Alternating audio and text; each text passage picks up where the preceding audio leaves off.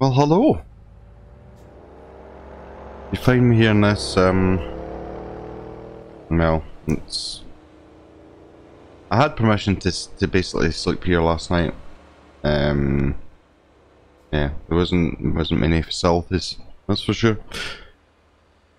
Excuse me. We are, um... Begging and borrowing what we can to make our life as uh, an American truck driver. We've left our home, we've left everything behind, and not that we had much in the first place, and we basically landed uh, somewhere in Georgia. We're actually in Knoxville at the moment, and as a contact, I've seen this on uh, an advert online.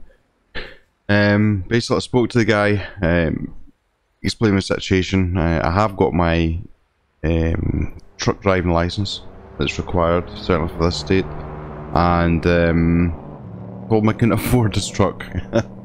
so uh, that was a good start to the conversation. However, after a bit of talking to him, um, we came to an agreement that I would pay a percentage of any of my um, income to him as a down payments, almost like a lease. Uh, at the end of it, I might own it, but um, We'll, we'll do a quick walk around as we've got a, a load to pick up. We have so good old Freightliner. Uh, it's seen better days. It's I mean it's uh, the wheels, the tires. The, the tires really would be the first thing I think I would I'm going to have to change at some point. They look brittle. They look. I mean, this truck's been lying in the yard for. It's part of seven or eight years not having moved. Uh, I have moved it to this yard we're at the moment, which has freed up the brakes, but there's really uh, we're really on a slim pickings. So uh, so I think the tyres first. Wheels are rusted. Uh, they will need replaced at some point, but we're gonna have to prioritise what we what we take basically. So let's get ourselves. We have uh, made contact uh, with the the guy that sold me this. Guy that sold me this truck. Sorry, his name is Sonny. He um he put me in touch with someone that was looking for basically a freelancer to to, to take an odd trailer when uh, his guys were already out in the road. So he's phoned me and he said that there's a, a cargo container full of televisions that's to go to the next city along. So we're uh, gonna head over there just now and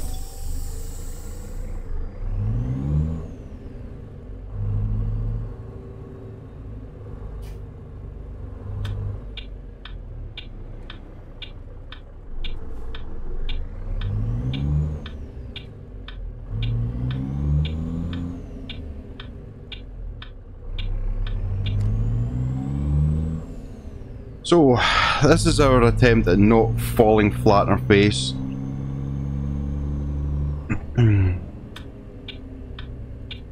Whether it's going to work or not, I don't know. But, uh, if you don't go for your dreams, then, uh, what, what are you going to do? Regret not doing it?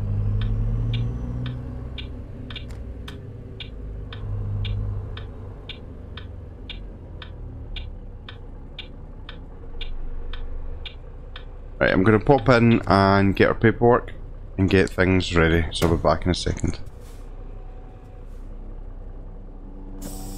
Right, okay, so we've got our paperwork. We've got it signed.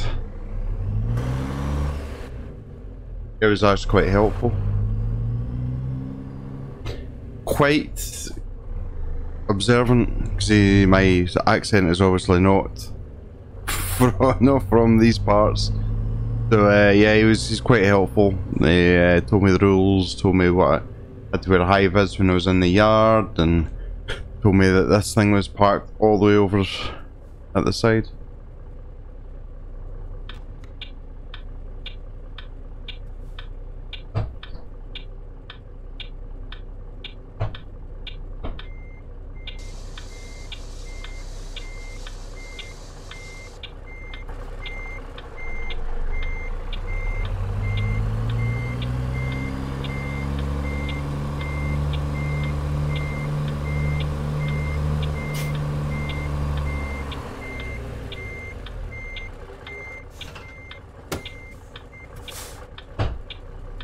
Right, let's jump out and let's get everything hooked up, shall we?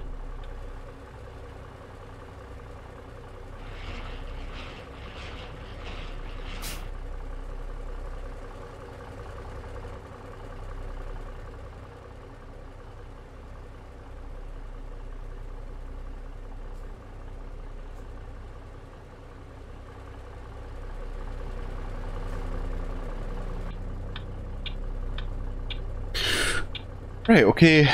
Check the lights, check the brakes, check the tyres, done all my, my pre-check, pre-trip checks. I need to get used to the American slang, so I do.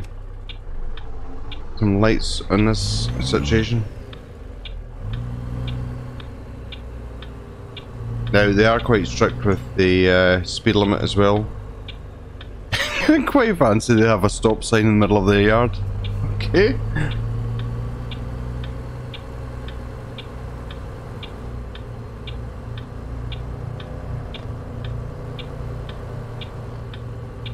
Once we get to the gate, I'll jump back out and give them the paperwork that was attached to the back of the trailer.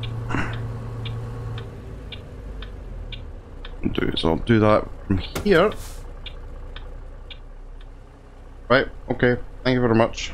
Thank you. He was just in the was he admiring the truck? I don't know if he was actually taking the mickey out of me.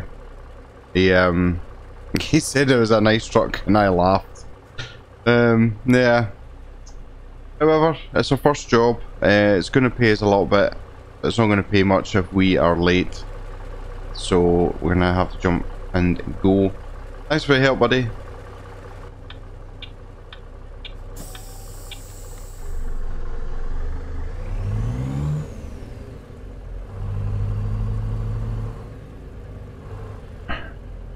It sure is hot down this uh, way.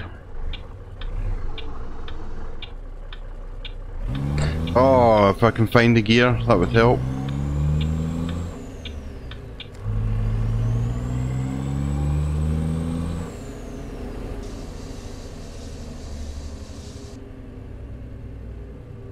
No, no fancy ass electric windows in this thing.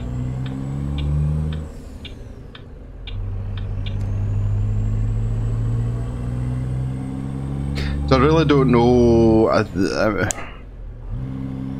there is a concern whether I've uh, left everything behind. And basically, um, am I doing the right thing? I don't know. I only had about 15 20 minutes with Sonny to decide to decide if we're both um, going to bene benefit from our uh, agreement.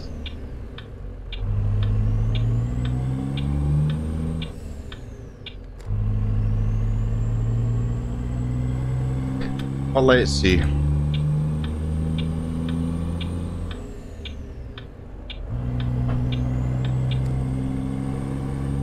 Quite dull. I wonder if it's going to rain.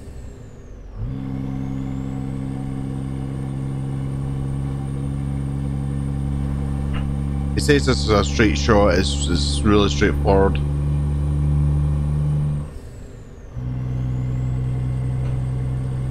The only issue with running a rig like this is the possibility of getting pulled over by local law enforcement.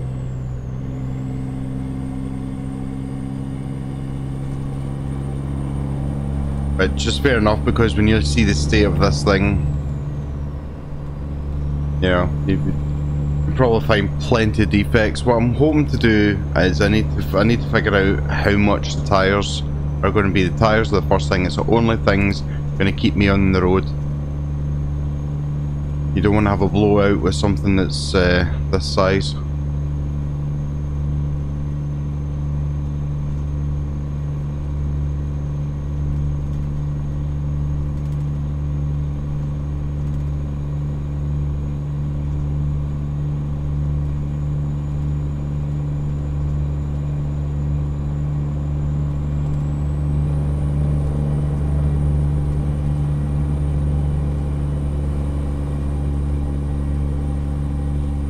It's looking a little bit brighter along here. That's good.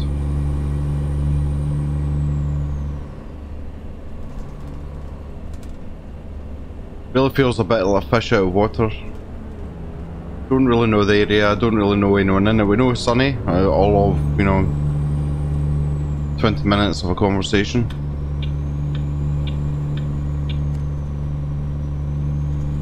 But at least we're going to make enough money where we can have something to eat tonight. We have a bed, we don't really need to worry about motels and things like that. They just cost money that we can't all afford at the moment.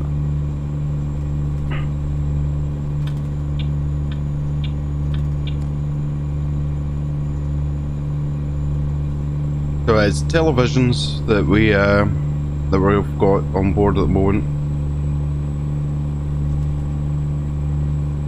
Similarly, we need to look out for. We don't want to basically stop in too many places because the uh, opportunity of being held up is quite high, which is a bit worrying.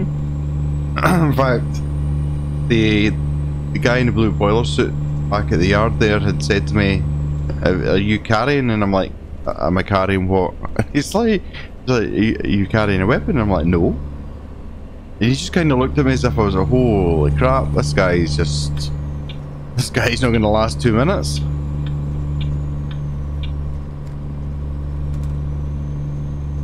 The only thing about this truck, and it's a very minor detail, is that the split in the uh, window in the passenger door is right down my mirror. So I can't actually see unless I move my head.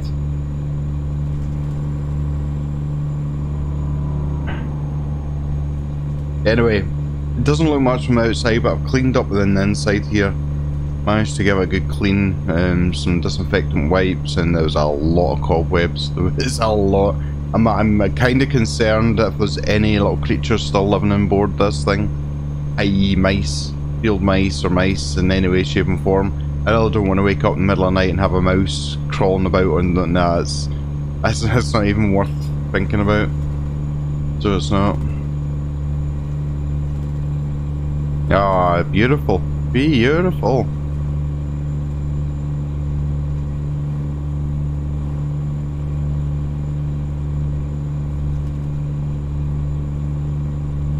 Being in a country you can actually have your window rolled down because let's face it, there's no aircon in this thing.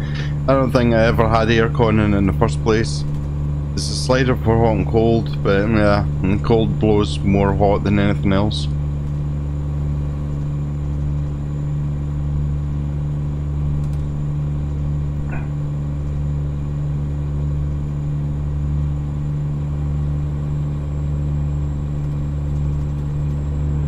Yeah, it's nice. Nice this time of the day where it's not really busy. I can concentrate on trying to do what I'm doing without loads of things running in my head to try and concentrate on it all at the same time.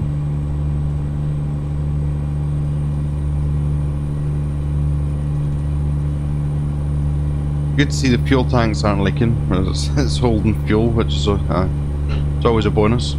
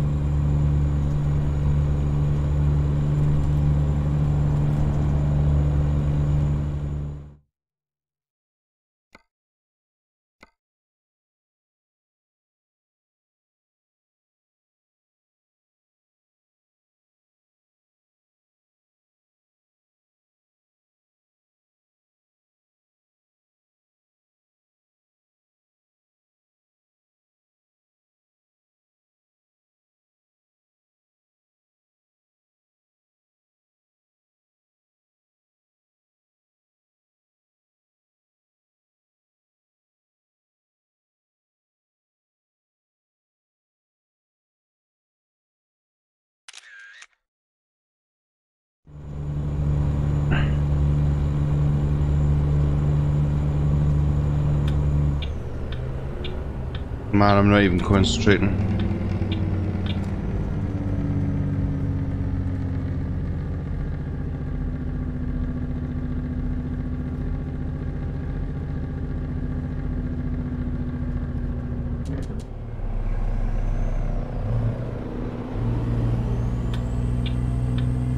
That would have been a good first trip, would it?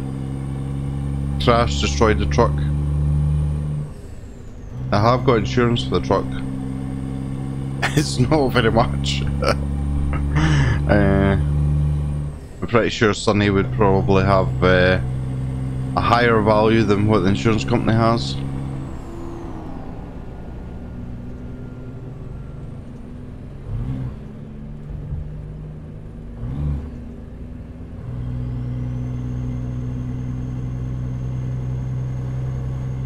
Kind of keeping it under the speed limit because I don't, one, don't want to bring attention to myself and, and two, you really don't want to bring attention to yourself. You hear horror stories, but we're here to live the American dream.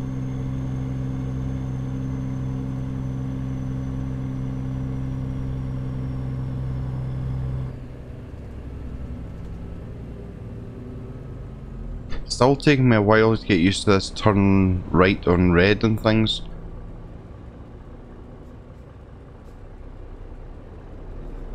Wow, those lights are terrible, look at them!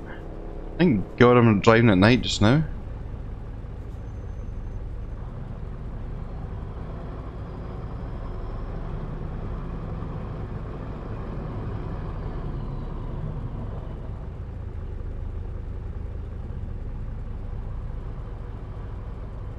Longest lights in the world.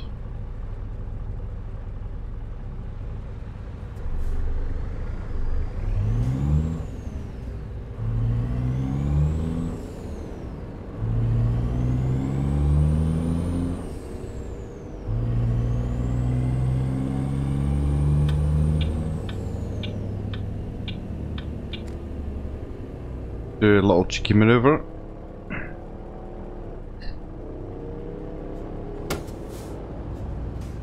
Ah. Mustang over there.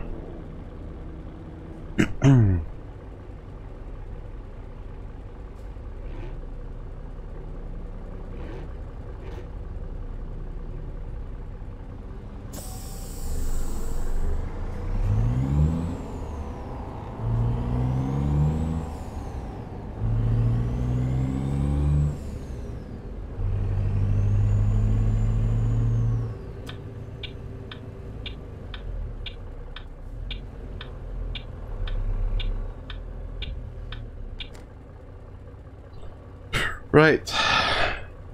Let me speak to this guy. Hazards on, get my vis on, and I'll be back in a second.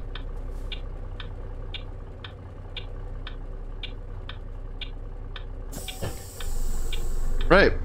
Basically just drive straight in here. He says he wasn't sure if the uh, this load was actually going to get dropped off today, so they didn't have a bay allocated for me.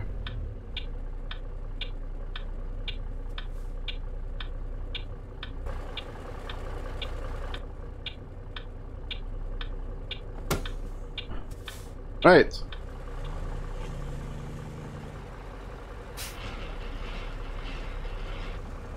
Right. Let's uh, go and find somewhere to park up for the night, shall we?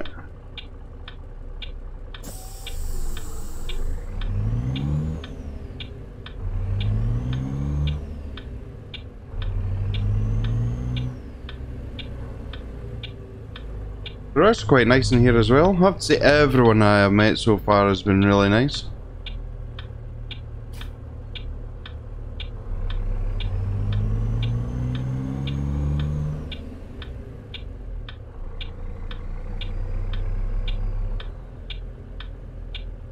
Now I'm kind of concerned that there's not really anywhere to uh, park up for the night. It's now turned to rush hour. See if